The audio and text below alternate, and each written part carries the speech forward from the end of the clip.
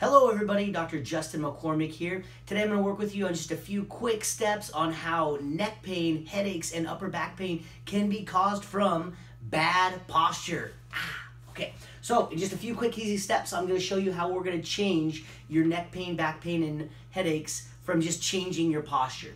So most of the time when I see people, back pain, neck pain, and headaches, this is how their posture is. Their head's way out here in front of your body, the body's in front of the hips, shoulders are rolled forward, cause a lot of stress on the muscles, ligaments, and the spinal cord, ultimately causes swelling, inflammation, and headaches, of course, as we talked about.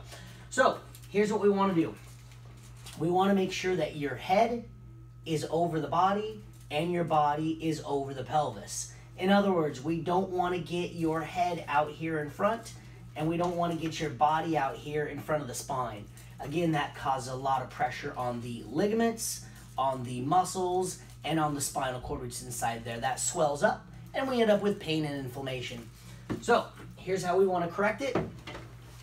When you're sitting at your computer desk or when you're working on your computer, whatever, we want to make sure that your head is over the shoulders, shoulders are slightly back, the arms are rested down. Just try your best to stay away from this situation. So there you have it, a few quick easy steps on how you can change headaches, neck pain, and upper back pain just from watching your posture. If you need any help, Dr. Justin McCormick, give me a call.